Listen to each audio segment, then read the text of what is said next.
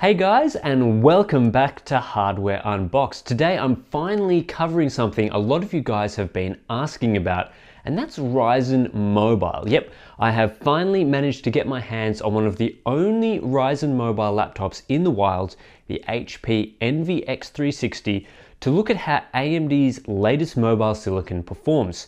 Of course, this isn't the first time we're seeing AMD APUs in laptops. Even today, you can buy a low-end notebook with a Stony Ridge APU inside, complete with all the wonders of an excavator-based CPU. It's at the high end that AMD has been absent for generations, mostly because of their slow and inefficient CPU architecture, which allowed Intel to command that mobile throne for years now. With Ryzen and the Zen architecture, everything has changed for AMD. Not only are their desktop parts very competitive against the latest from Intel, but has also allowed AMD to re-enter the mobile space with a set of APUs actually up for a fight. Thanks to these products, codenamed Raven Ridge, we might actually see some competition back in the ultra-thin laptop market. The two APUs in the Ryzen lineup for now are the Ryzen 5 2500U and the Ryzen 7 2700U. Both pack 4 core, 8 thread CPUs, the same as the latest 8th gen laptop CPUs from Intel, along with DDR4 2400 memory controllers. As you can see in the table, clock speeds range from 2.0 or 2.2 GHz base up to 3.6 or 3.8 GHz boost, right in the ballpark of Kaby Lake Refresh. The big thing to note here isn't the CPU though, which admittedly is a lot faster than anything AMD has produced in the mobile space for years. In fact, it's the GPU where AMD has a huge competitive advantage over Intel. The Ryzen 5 2500U we're looking at today has a Vega 8 GPU with 8 compute cores and a total of 512 shaders clocked up to 1100 MHz. This GPU is easily twice as fast from a pure compute perspective compared to Intel's UHD Graphics 620 currently used in 8th gen parts. It looks faster than Iris Plus graphics on paper as well, though Intel hasn't even begun rolling out those GPUs in quad-core ultra-portable SKUs. So the Ryzen 7 2700U is even faster, with more compute cores at a higher clock, but I'll have to hunt down a product with Ryzen 7 inside to get a better idea how it performs. Here we'll be focusing just on the Ryzen 5 2500U. The impressive aspect to the new Ryzen mobile parts is they cram both that quad-core Ryzen CPU and a powerful Vega GPU into a 15 watt TDP. That's the very same TDP as Intel's equivalent 8th gen CPUs, but with the potential for extra performance. Pretty much sounds like a winner, right? Before I get into some juicy benchmark data, I did want to talk about the test procedure because testing with a laptop CPU or APU is different and more challenging than testing a desktop component. That's because laptops come as entire systems, so you know it's hard to lock down variables and directly compare apples to apples. Aspects like the cooling solution, which impacts throttling, storage, memory, software clock speed tweaks, and battery life all vary between devices, and with very few Ryzen laptops on the market right now, we're pretty much relying just on data from one laptop, and that might be for a while. The good news though is that the HP Envy X360 does provide a good test platform with comparable hardware to many ultra portables. My review unit has 16GB of DDR4 2400 in a dual channel configuration plus a fast 256 gig PCIe SSD, which is great for reducing bottlenecks in those areas. Power consumption and battery life is harder to test and I'll comment on that a bit later, but for now, let's get on to the benchmarks. The first couple of benchmarks for PCMark I'm going to breeze through as this test does stress a lot of different system components, not always just the CPU and GPU. However, I have included here to see how a Ryzen laptop stacks up against some of its competitors in a brief sort of fashion. Depending on the workload, the Ryzen 5 2500U either sits between the Core i7 8550U and the Core i7 7500U, or it's in the mix amongst Intel's 7th gen Kaby Lake CPUs. Intel's 8th gen CPUs were routinely 10 to 20% faster in these tests, which is an interesting result, but we'll have to look at some more tests before we conclude anything. So Cinebench is one of the strongest results for the Ryzen 5 2500U. In the multi-threaded test, the CPU is just slightly slower than the Core i7-8550U, and let's not forget that the i7-8550U is a higher tier product than the Ryzen 5 2500U. The Ryzen 7 2700U is clocked 5 to 10% higher and no doubt would beat the i7-8550U in this test. If you've been following Ryzen desktop coverage, the single threaded result won't surprise you though. The i7-8550U is a good 17% faster here. Interestingly, on a clock for clock basis, the 8550U is clocked 11% higher here in single core workloads, so read into that 17% gap what you want. Encoding X264 videos is a tougher task for the Ryzen 5 2500U. In the first pass, the 8550U is a huge 38% faster, though strangely this margin is narrowed significantly in the second pass to just 3%. And it gets even tougher in X265 encoding, where Intel's 8th generation parts hold a commanding lead. The 8550 is a good 23% faster in this workload, encoding the hour-long test video in an hour and a half compared to two hours for Ryzen. Microsoft Excel is a short workload that favors high boost clocks. Here Ryzen is also slower than Kaby Lake refresh to the tune of 27%. Again, this isn't a hugely surprising result considering the 8550U holds a clock speed advantage and Intel's Kaby Lake architecture also has higher IPC as we showed in our coverage of desktop Ryzen. MATLAB, this is an interesting one because it's one of the worst results for Ryzen. In fact, it's so bad I'm not quite sure what the reason for this performance delta is. The Ryzen 5 2500U is around twice as slow as the i7-8550U, slower than the very slow Skylake Core M3 CPU in our charts. Some of the MATLAB workloads uh, in our benchmark fare worse than others. The FFT and ODE are much more competitive, but it's still it's not a great overall result and it leaves me just a little bit puzzled.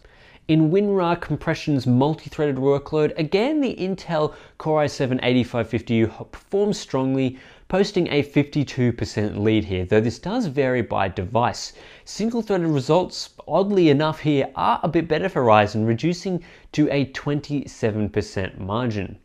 I also wanted to show memory bandwidth here as the Ryzen 5 2500U supports DDR4 2400 and pushes higher bandwidth than the Kaby Lake R Core i7 8550U, at least in the machines I've been testing with so far. Clearly we are not memory bandwidth limited in the benchmarks I've just been showing though because Ryzen 5 is still behind in a number of situations. So while AMD lists the maximum boost clock of the Ryzen 5 2500U as 3.6 GHz, the CPU does not hit this clock speed under sustained workloads to keep within the TDP which is, you know, common behavior on these limited mobile platforms. With the Core i7-8550U, we saw sustained clock speeds during Cinebench in the 2.6 to 2.7 GHz range on all cores, despite a maximum all-core turbo frequency of 3.7 GHz. With a single thread though, the 8550U did hit that 3.7 GHz maximum boost frequency in a sustained workload. It's a similar story with the Ryzen 5 2500U. In fact, this APU varies on a per core basis more frequently than Kaby Lake R. However, I did see consistent performance around 2.7 to 3.0 GHz on all four cores, while only on a single core, the 2500U has no problem hitting that 3.6 GHz maximum boost clock consistently. This does give the 2500U a clock speed advantage in multi-threaded workloads and a small disadvantage in single core loads. So we've seen how the CPU performs. Let's move on to the big story regarding the Ryzen 5 2500U, the GPU. The Vega 8 GPU inside this chip is a beast compared to the UHD 620 graphics in Kaby Lake Refresh, boasting around 2.5 times the raw compute power. When you consider this APU features the same 15 watt TDP, this is an impressive feat from the AMD team. It goes to show how well their graphics architecture scales down. I'll get to actual gaming in a moment, but I first wanted to take a look at 3D Mark.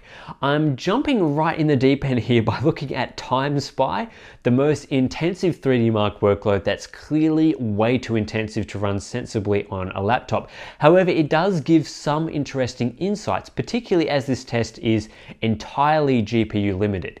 Here, the Ryzen 5 2500U is just over twice as fast as the Core i7 8550U when viewing the overall score, and this improves to a 2.1 times lead in the graphics score. What this shows is that in a very intensive GPU workload, Ryzen has more than a 2x lead in the same power envelope. The Ryzen 5 2500U also has a 2.2x lead in Firestrike, though as we move down to the less intensive workloads, Ryzen's lead starts to slip in the overall score as the tests become heavier on the CPU. In Skydiver, we see a 1.82x lead for Ryzen, and in CloudGate, this drops to 1.33x. Let's not forget here that we are comparing Ryzen 5 to a Core i7 either. The Ryzen 7 2700U uses a Vega 10 GPU with 640 shaders compared to 512 in Ryzen 5, with a clock speed boost as well. So when comparing Ryzen 7 to Core i7, we will see AMD's APU uh, pull ahead, but Again, we'll have to wait till I actually get my hands on Ryzen 7 to test that out for proper. Obviously, a lot of you will be interested in whether the extra GPU power Ryzen Mobile provides is enough for actual gaming on these ultra portables. I'll have a full exploration of Ryzen Mobile gaming coming up a bit later, but I have tested a small handful of games on the Envy X360 to see what is playable. So ultra portables tend to be fairly slow, so I usually start by testing very old games, well not that old, but you know from around 2013. For several years these sorts of machines couldn't even hit 60 FPS in Tomb Raider, a game from 2013 at 720p with the lowest possible settings. These days though, the Core i7-8550U hits 93 FPS at these settings, but it's the Ryzen 5 2500U that pulls ahead by 26%. You can quite easily play this game at 1080p with some higher detail settings if you'd like though. The other interesting title to mention here is Metro Last Light at 1080p medium settings. This game is still utterly unplayable on the i7-8550U, pushing an average of 17 FPS.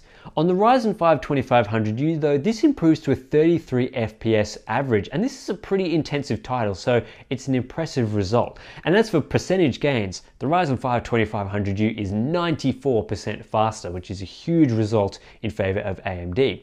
I was most excited though to check out the performance of Civilization 6, not just because it's a more recent game, but also because it's very GPU and CPU intensive on laptops. As Ryzen has such a low TDP, there's a fine balancing act between giving power to the CPU and GPU when both are hit hard. As a result, neither part can run at its maximum power. However, with Civilization 6, we can see that although the Ryzen 5 2500U is limited by its 15 watt TDP, it manages to squeeze out a ton more performance than the Core i7 8550U. In fact, this game goes from largely unplayable to completely playable with Ryzen Mobile thanks to an 87% performance gain. And at the same time, the game has a faster turn rate with Ryzen, and this is you know, provides a much better experience with this APU. Is Civilization 6 alone not intensive enough for you? Well, how about running Metro Last Light and Cinebench multi-threaded at the very same time? In this test, which pushed the GPU and CPU at full 100% utilization, the Ryzen 5 2500U achieved a score of 304 in Cinebench while pushing 26.2 FPS in Metro Last Light.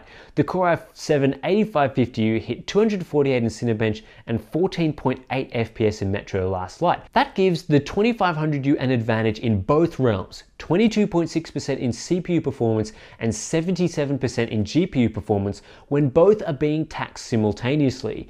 Give each of these tasks equal weighting and the Ryzen 5 2500U squeezes 45% more juice from the very same TDP, which is an incredibly impressive result for Ryzen Mobile.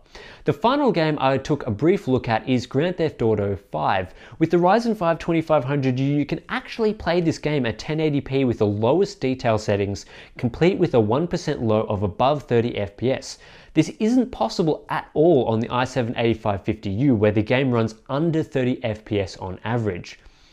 So all the benchmarks are now out of the way. So let's talk a bit more about how the Ryzen 5 2500U performs generally. In terms of CPU performance, the 2500U is slower than the Core i7 8550U on average. Not a perfect apples to apples comparison, I'll admit, but the i7 8550U is 30.6% faster in the benchmarks we used on average, skewed in favor of Intel a bit by the enormous disparity in MATLAB.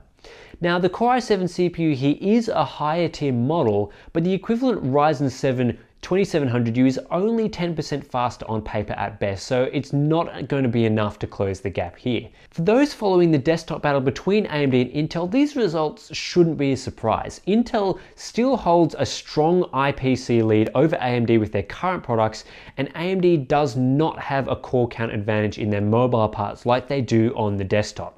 Even with clock speeds favoring AMD by up to 300 MHz in sustained all-core workloads, at least in, in some cases, Intel's strong Kaby Lake IPC sees it outperform Ryzen Mobile across the board.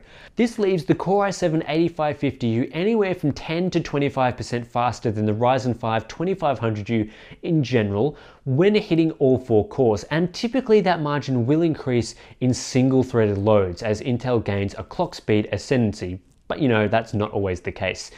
Is this a bad result for AMD's Ryzen mobile CPU? Well, not really, as we are comparing Core i7 to Ryzen 5 here, as I haven't yet tested any 8th gen Core i5 parts.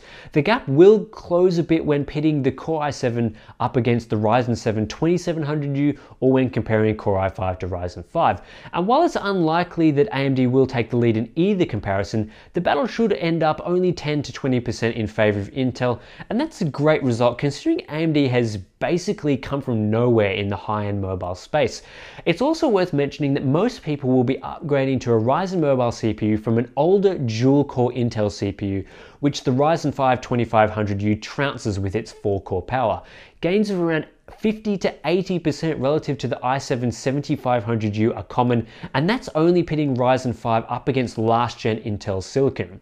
Coming from a four year old laptop, this CPU will blow you away. But the real story here is graphics performance, which is where the Ryzen 5 2500U demolishes the Core i7 8550U. The Vega 8 GPU inside is considerably more powerful to the tune of more than 2x in extremely GPU heavy benchmarks. It manages to achieve this while keeping to the same 15 watt TDP as Kaby Lake Refresh, and even when both the GPU and CPU are slammed, the Ryzen 5 2500U pulls ahead by a huge margin. On paper, the Vega 8 GPU is about 2.5x faster than the UHD 620 in terms of raw compute, though in practical gaming scenarios, I saw anywhere from 70 to 100% more performance out of it.